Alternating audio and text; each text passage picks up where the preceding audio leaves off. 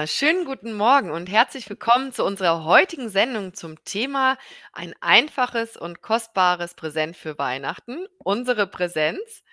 Mein Name ist Annika und ich freue mich, dass ihr heute wieder eingeschaltet habt. Und noch mehr freue ich mich heute, äh, Megan begrüßen zu können aus Rheinsfeld, unsere ja, Referentin für heute, die uns das Thema ein bisschen näher bringt. Und ich glaube, das ist gerade vor Weihnachten äh, noch wichtiger denn je, weil es soll zwar eigentlich eine besinnliche Zeit sein, aber man kennt das vielleicht von sich selbst. Gerade dann ist es sehr turbulent und stressig und äh, man verliert sich da manchmal. Also von daher freue ich mich sehr. Sie wird sich auch gleich selbst nochmal vorstellen. Und wenn ihr Fragen habt oder Anregungen, seid ihr herzlich eingeladen, sie hier in den Chat zu schreiben. Die meisten von euch kennen das schon. Und ja, dann gebe ich mal rüber aus Mainz nach Rheinsfeld. Schön, dass du da bist und stell dich gerne einfach selbst nochmal kurz vor.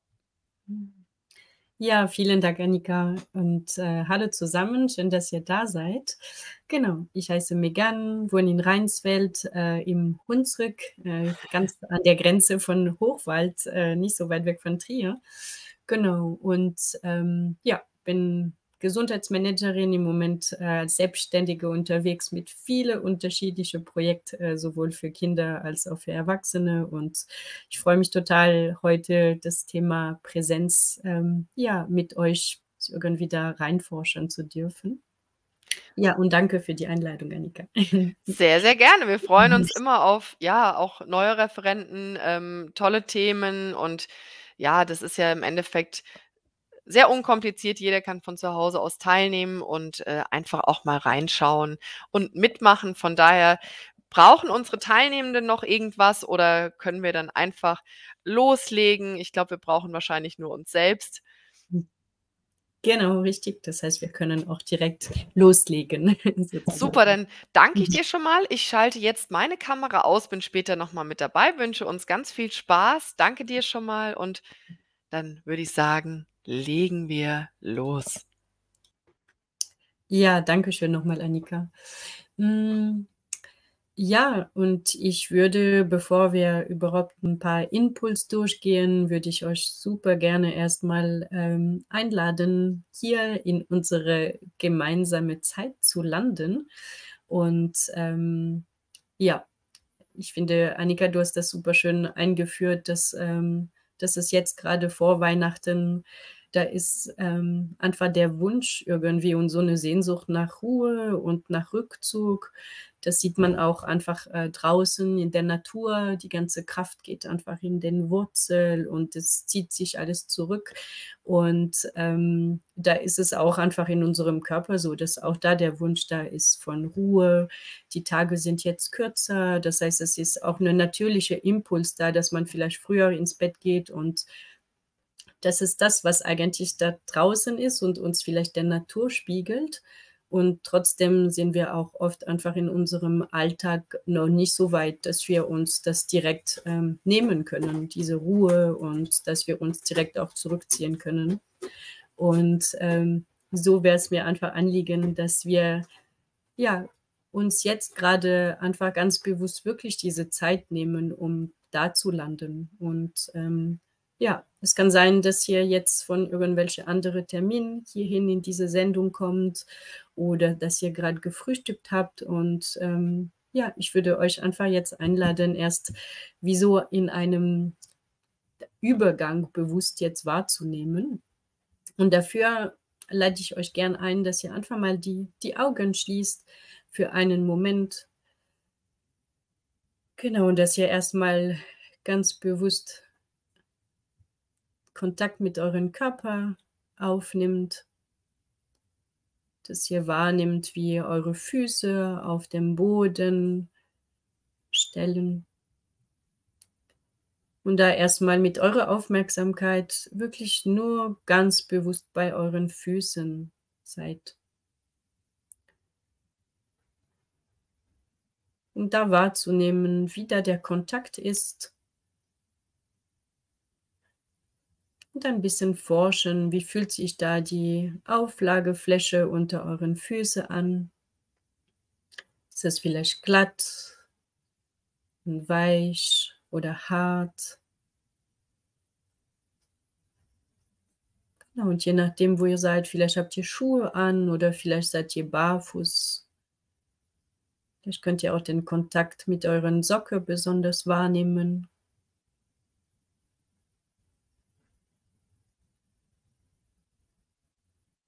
Ja, und die Einladung ist wirklich so mit eurer Aufmerksamkeit voll und ganz bei euren Füßen zu sein. Und ganz bewusst den Kontakt mit dem Boden, mit der Erde unter euch wahrnehmen.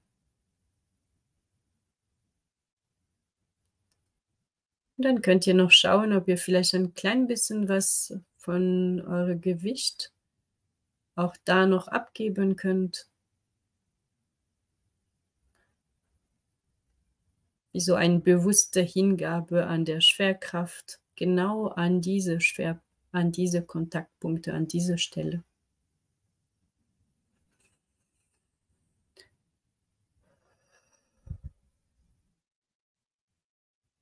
Genau, und dann könnt ihr gerne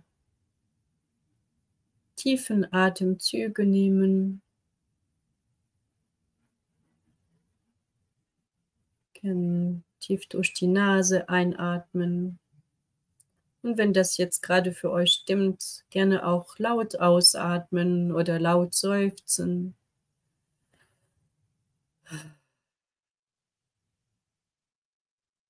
Genau, und mit jedem Ausatmen könnt ihr euch eure Schwerkraft mal ein klein bisschen mehr hingeben.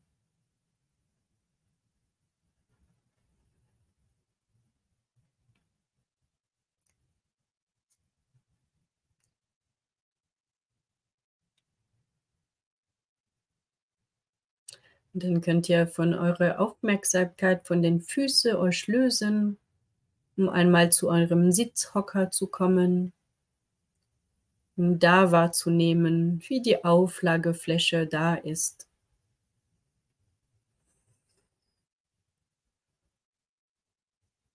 Und auch so, als ob ihr zum ersten Mal mit eurem Gesäß die Sitzfläche erforschen würdet.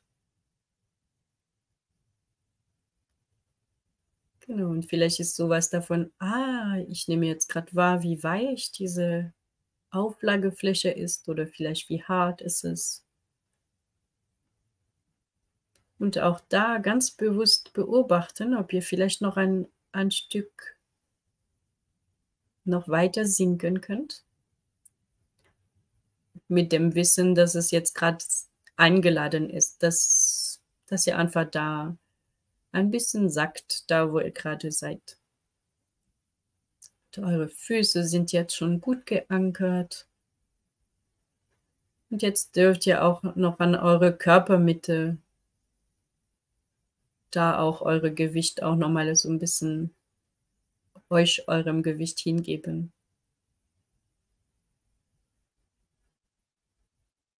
Genau, vielleicht ist es auch noch eine gute Zeitpunkt, um euch noch ein bisschen hin und her zu richten. Wenn ihr merkt, ah, das ist noch nicht so angenehm, dann könnt ihr das gerne noch in aller Ruhe machen, noch ein bisschen vielleicht nach links und rechts oder vorne zurück wippen oder ein bisschen schwingen, um dann nochmal der, der optimale Sitzplatz für euch zu finden. Genau, und auch hier mit euren nächsten Atemzüge könnt ihr euch mit jedem Ausatmen wieder ganz bewusst ein Stück tiefer in eurem Sitzplatz sacken, einsinken.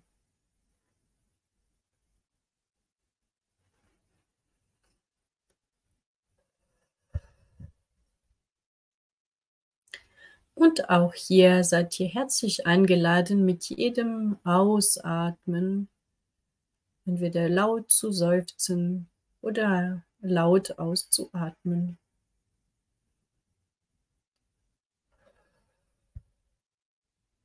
Wenn wir uns trauen, das zu tun, das ist wie wenn wir unser System ähm, ganz bewusst einladen, dass er entspannen darf und dass es jetzt willkommen ist, die Spannung loszulassen, und dass es auch okay ist und dass es auch erwünscht ist.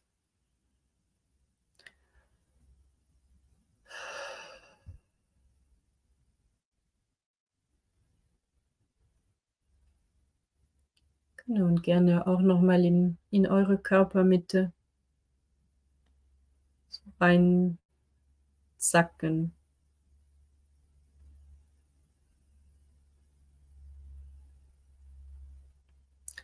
Dann mit dem nächsten Ausatmen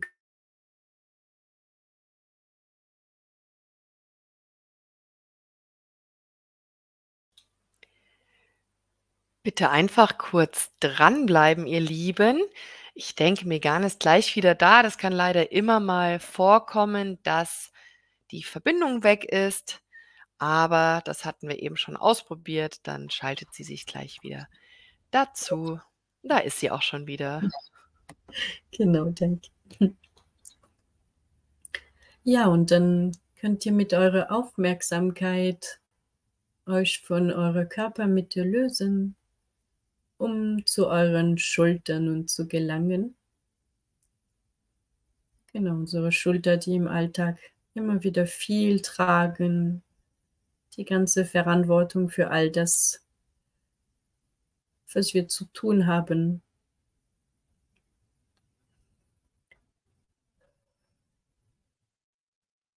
Genau, und hier könnt ihr einfach mal beobachten, wie fühlen sich jetzt gerade eure Schulter an. Vielleicht habt ihr Lust, die auch ein bisschen nach links und rechts zu bewegen. Und mit den nächsten zwei, drei Atemzügen könnt ihr gerne beim Einatmen die Schulter mal hochziehen Richtung Ohren und beim Ausatmen sie einfach entspannt nach unten lösen. Und ruhig das noch einfach zweimal in, in eurem Atemrhythmus. Beim Einatmen einfach hoch Richtung Ohren, ohne dass es Stress macht, einfach nur ganz entspannt.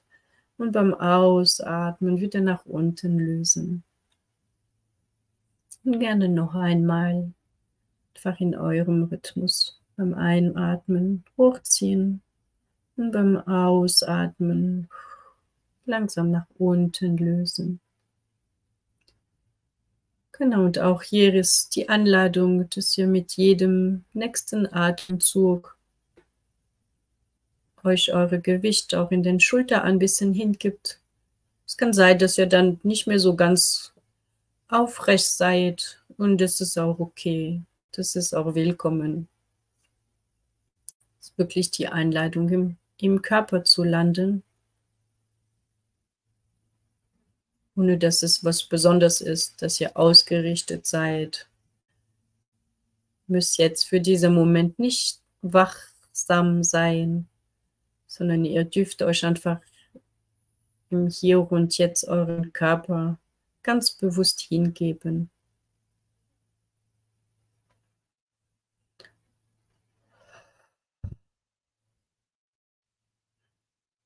Auch hier, wenn das für dich, für euch jetzt gerade stimmt, gerne nochmal bewusst tief ein und laut ausatmen oder laut seufzen.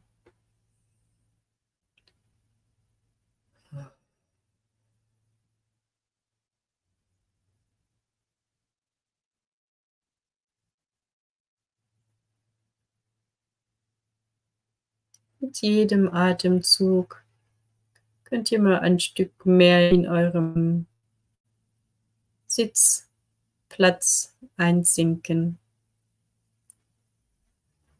und somit auch ganz bewusst in eurem Körper landen.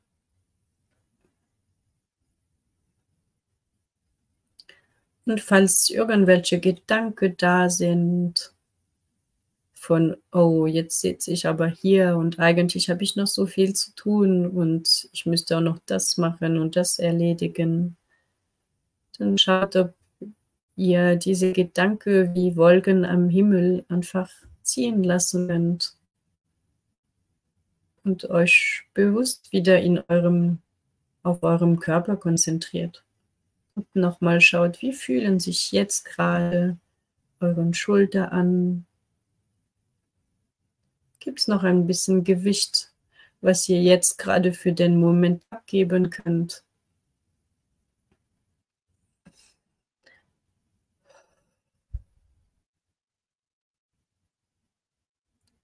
Dann könnt ihr auch noch an dieser Stelle von euren Schultern für ein, zwei Atemzüge bleiben. Tief ein ausatmen.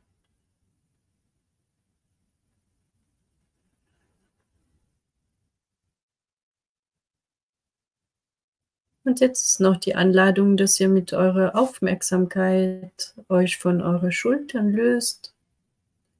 Jetzt einmal eure ganzen Körper zu betrachten. Dass ihr euch jetzt gerade einfach mal diese Frage stellt, wie geht es dir jetzt gerade in deinem Körper? Genau, und schaut, ob ihr das einfach nur beobachten könnt. Ohne das zu bewerten. Einfach nur eine kleine Ist-Zustand.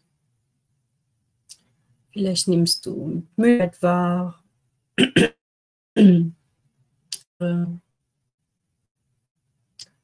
Oder vielleicht fühlst du dich äh, einfach wach und lebendig oder vielleicht vielleicht gestresst. Vielleicht nimmst du irgendwelche Anspannungen wahr. Und die Einladung ist wirklich, dass du einfach schaust, wie geht es dir jetzt gerade in deinem Körper.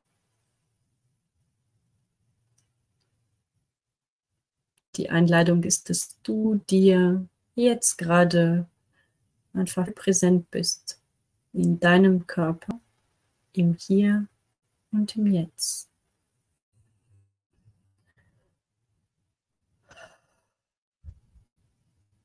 Genau, und es kann sein, dass mehrere Sachen sich zeigen. Vielleicht ist es Ruhe da und Anspannung. Vielleicht ist es Müdigkeit da und auch Wachsamkeit. Die Anleitung ist, das gerade einfach nur zu beobachten. Wir sind so oft gewöhnt, dass wenn wir was sehen, dass es direkt bewertet wird, das ist gut, das ist schlecht, das will ich nicht, das will ich, ich will mehr davon, ich will weniger davon. Und jetzt geht es wirklich darum, dem einfach präsent zu sein, was gerade da ist, ohne es zu bewerten.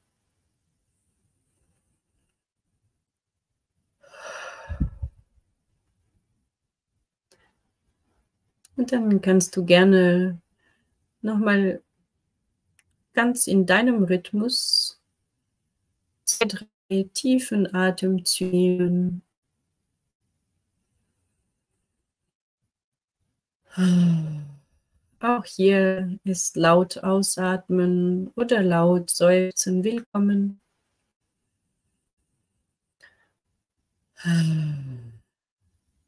Wenn du deine zwei oder drei Atemzüge genommen hast, bist du jetzt eingeladen, ein klein bisschen wieder Bewegung in deinen Körper reinzugeben. Und die Anleitung ist wirklich, die Impuls von deinem Körper zu folgen. Du kannst schauen, vielleicht ist es gerade so ein, ein Recken und ein Strecken da. Vielleicht magst du dich ein bisschen nach links und rechts bewegen oder laut gähnen, die Schulter kreisen. Oder vielleicht magst du dir auch die Hände aneinander reiben und dann einfach durch den Gesicht streichen. Mach das gerade, was für dich gut ist, damit du hier gut landen kannst.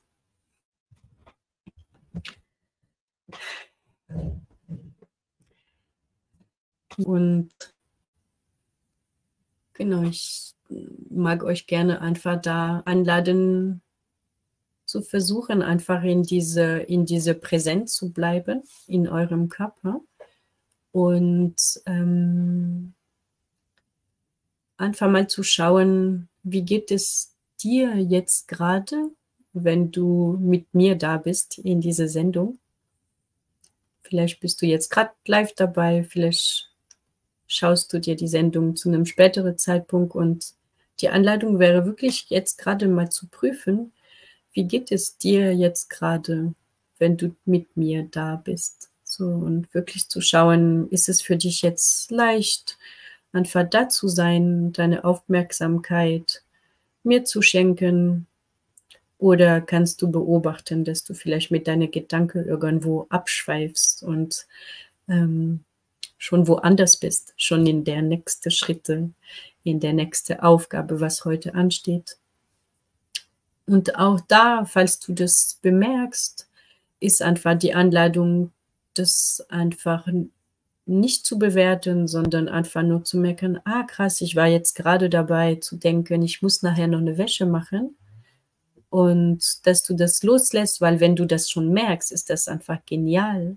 Und dass du dann guck, ob du guckst, ob du vielleicht dann doch mit deiner Aufmerksamkeit wieder bei mir kommen kannst.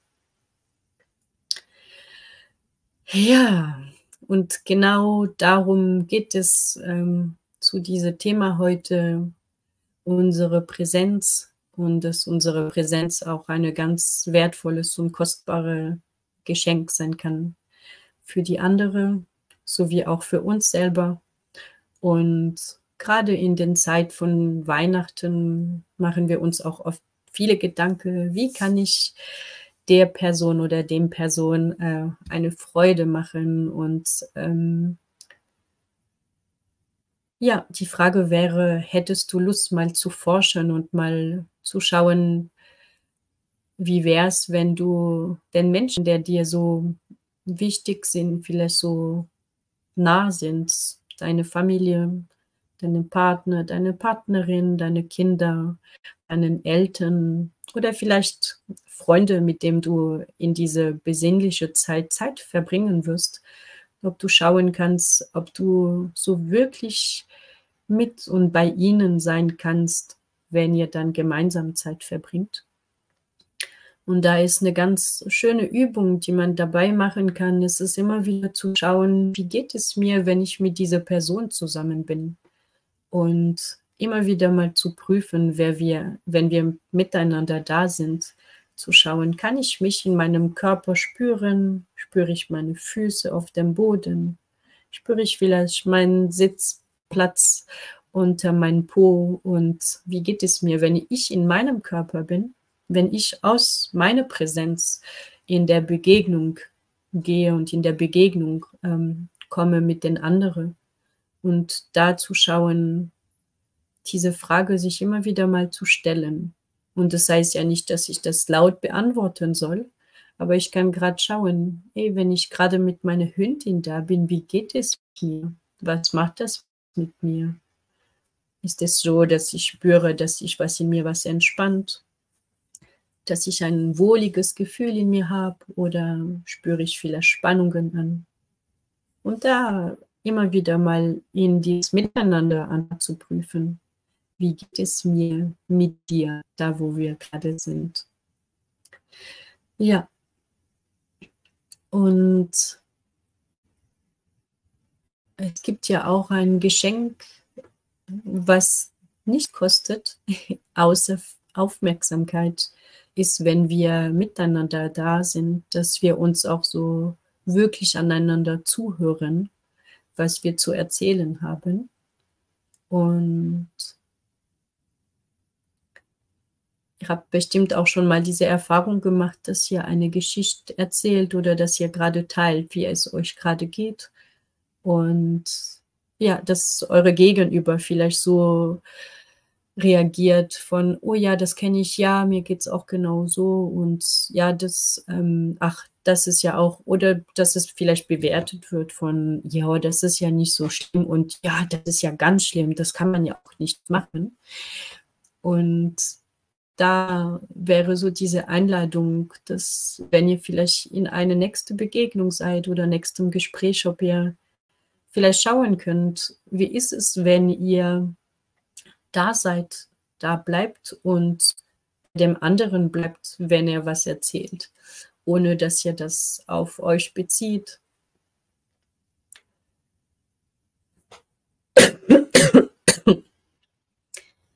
Oder ohne dass ihr aus dem Geschicht von der anderen eure Geschichte macht oder von euren Geschichte erzählt.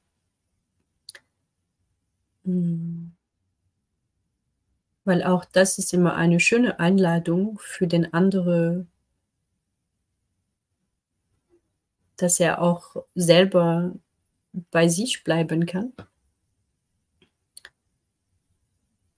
Und diese Erfahrung zu machen, dass hm, sich selber mitzubekommen in dem Moment und zu merken, ah, ich wollte gerade was von mir erzählen und dann zu merken, ah, mich mal gerade zurückzuziehen und mit meiner Aufmerksamkeit voll und ganz bei meinem Gegenüber zu bleiben und sich dabei trotzdem fühlen, zu merken, ich spüre immer noch meine Füße auf dem Boden. Genau, ich spüre, wie es mich gerade jetzt körperlich geht. Und ich bin aber bei dir und höre genau zu, was du zu erzählen hast.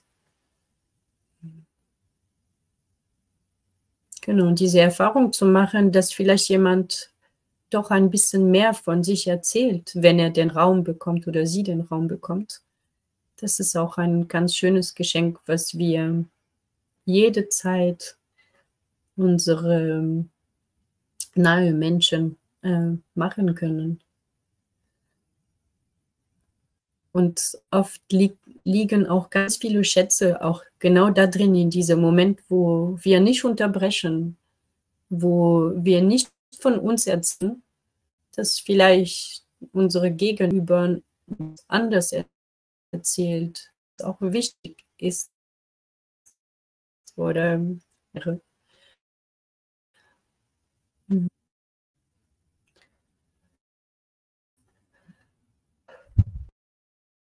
Und vielleicht habt ihr Lust zu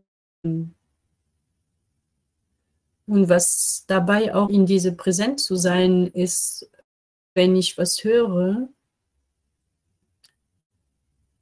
und merke, dass es mir vielleicht manchmal zu schnell geht, dass ich auch zum Beispiel sage, ah, ich habe das gehört, habe ich das so richtig verstanden?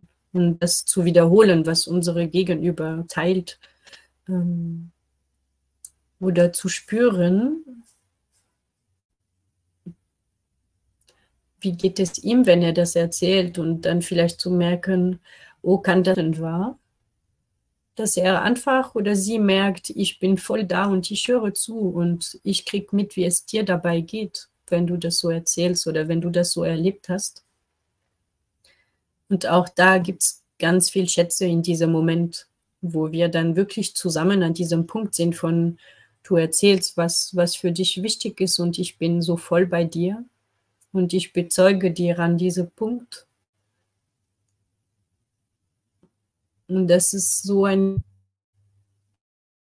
wenn wir unsere Mitmenschen, wenn sie sehen, dass wir die sehen und wenn die sehen, dass wir sie mitbekommen, vielleicht mit ihrer Trauer, vielleicht mit ihrer Freude, vielleicht aber auch mit ihrer Wut. Und wenn wir dann nicht dann von uns erzählen und sagen, ja, das geht gar nicht, das macht man, sowas macht man nicht, sondern, oh ja, ich sehe, dass, dass dich das sehr wütend gemacht hat und dass das ganz schön viel für dich war. Das ist so schön, wenn wir da abgeholt werden, wo, wo wir gerade sind. Ja, und vielleicht habt ihr Lust, das auszuprobieren. Vielleicht habt ihr Lust, da zu forschen, euch zu beobachten wenn ihr das nächste Mal mit jemand in Kontakt seid und wenn ihr in Begegnung geht. Und eine andere Sache damit zu üben, ist vielleicht das erstmal einfach mit Wesen mit Tieren oder mit Pflanzenwesen. Auch da zu schauen, wie geht es mir, wenn ich jetzt gerade mit meiner Hündin da bin oder wenn mein Kater auf meinen Schoß liegt oder wenn ich gerade meine Häschen auf dem Balkon beobachte, zu schauen, wie geht es mir gerade, wenn ich mit diesem Wesen da bin. Was macht das mit mir? Und das ist schon einfach eine Möglichkeit, so sich in Präsent zu üben. In diese Wortlosigkeit. Und das ist eine Qualität, ähm, die es auch beim Zuhören braucht.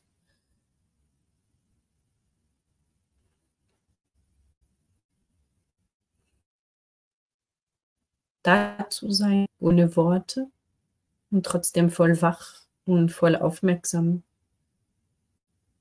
Hm.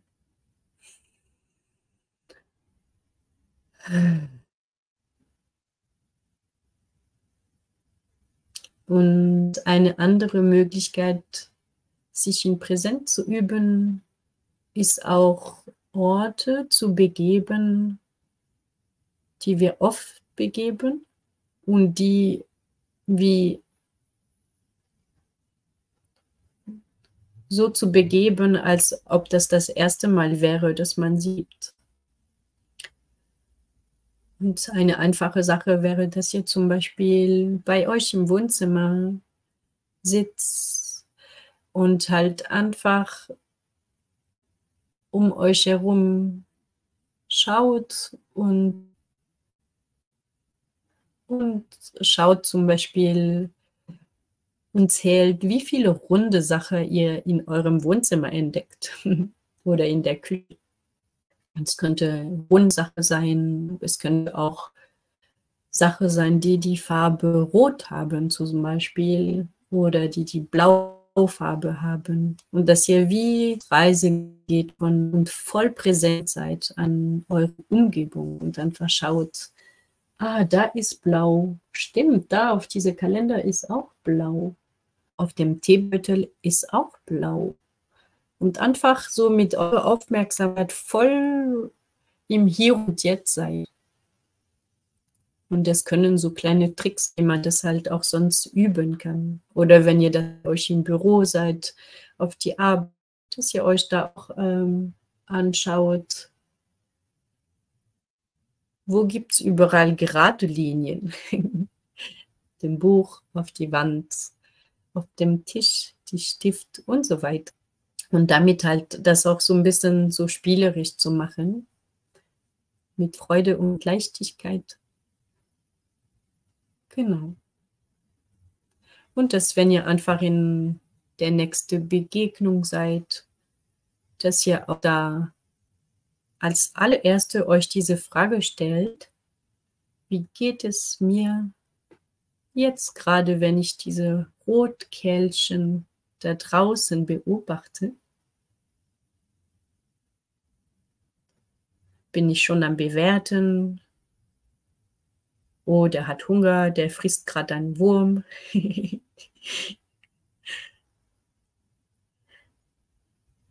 genau, da kann ich halt einfach spüren, ah, da kommt Freude in mir und Lebendigkeit diese Schönheit zu sehen, wie schön er gezeichnet ist.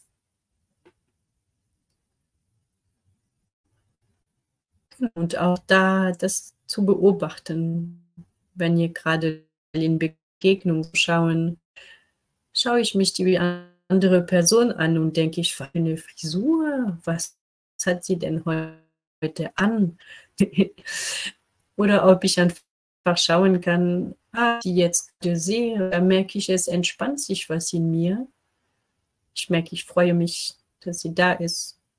Oder vielleicht habe ich Spannung.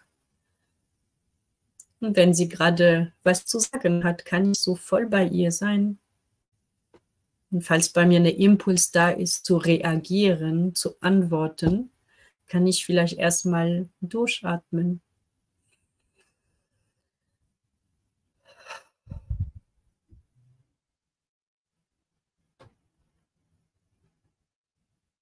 Und vielleicht habt ihr jetzt gerade auch noch mal Lust zu schauen, wie geht es dir jetzt gerade mit mir, wenn du das hörst.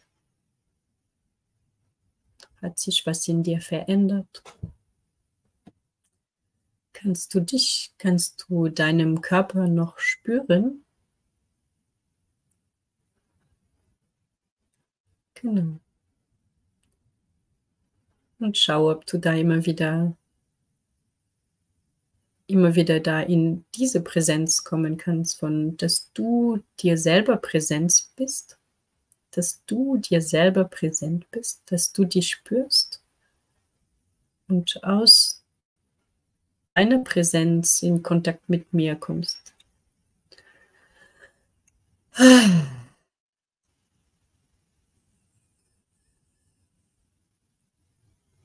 Und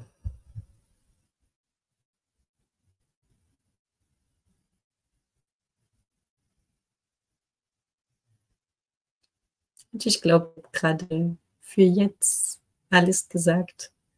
Ich mag euch gerne einfach mal einladen, ja, auf diese Forschungsreise zu gehen. Auch mit dem Wissen, dass es nicht immer gelingt und dass es immer wieder dieser Moment kommt, wo man sagt, ja, das kenne ich. Oder das kann man nicht machen, das haben die doch nicht gemacht. und wenn ihr das merkt und euch dabei ertappt, dass ihr das auch mit Freude und Leichtigkeit macht. Und ja, und dass ihr euch das vielleicht für das nächste Mal nochmal vornimmt, einfach in Ruhe da zu sein. Genau. Ich würde euch auf jeden Fall viel Freude, viel Leichtigkeit auf diese Forschungsreise wünschen. Und ja, dass ihr dass ihr euch selber präsent sein kann, auch in diese besondere Zeit von Weihnachten, wo es auch nicht immer so einfach ist mit der ganzen Familie und mit all dem, was wir davor haben. Und dass ihr euch selber dabei nicht vergisst, euch immer wieder selber spürt und aus eurer Präsenz in der Begegnung geht. Vielen lieben Dank fürs Lauschen, fürs eure drauf einlassen und wenn ihr Lust habt, viel Spaß auf diese Forschungsreise. Ja, vielen lieben Dank, liebe Megan. Also ich fand es sehr angenehm, dir zuzuhören. Ich hoffe, es geht euch genauso. Du strahlst eine sehr schöne Ruhe aus und ich glaube, das ist, was viele gerade brauchen oder immer öfter. Ich nehme mich da selbst nicht aus.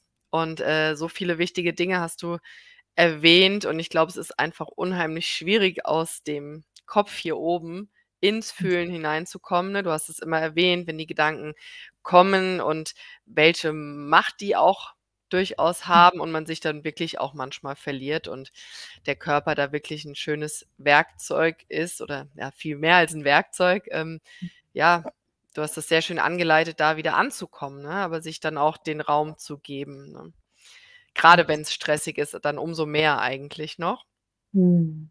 Und, äh, ich glaube, über das andere Thema, ähm, Präsenz, Aufmerksamkeit, Zuhören, Begegnungen, da könnte man wahrscheinlich noch mal 'ne ganz eigene Sendung drüber machen, also ganz, ganz spannend auch. Und wenn ihr Lust habt, teilt gerne noch eure Erfahrungen, wenn ihr jetzt, äh, vielleicht so im Vorher-Nachher-Vergleich, wenn ihr Lust habt, was in den Chat zu schreiben, ähm, wie ihr auch die Sendung fandet oder was ihr vielleicht auch mitnehmt an Impulsen. Also ich fand das sehr praktisch, das kann man direkt ausprobieren mit sich selbst und auch ähm, natürlich im Umgang mit den anderen. Also vielen lieben Dank für diese wertvollen Impulse. Schön, dass ihr dabei wart. Äh, ich freue mich auf weitere Sendungen mit dir und ja, wünsche euch jetzt allen noch eine entspannte und präsente Zeit. Wie du sagst, es funktioniert vielleicht nicht immer, aber sich zu erinnern und äh, das zu üben, dann wird das auch nach und nach ein bisschen besser mhm. und schöner, ja. Vielen Dank. Mhm. Sehr gerne. Dann wünsche ich euch, wie gesagt wir wünschen euch noch eine entspannte Weihnachtszeit. Kommt gut ins neue Jahr. Vielleicht sehen wir uns auch noch in der einen oder anderen Sendung. Vielen Dank an Megan und bis hoffentlich ganz bald. Tschüss.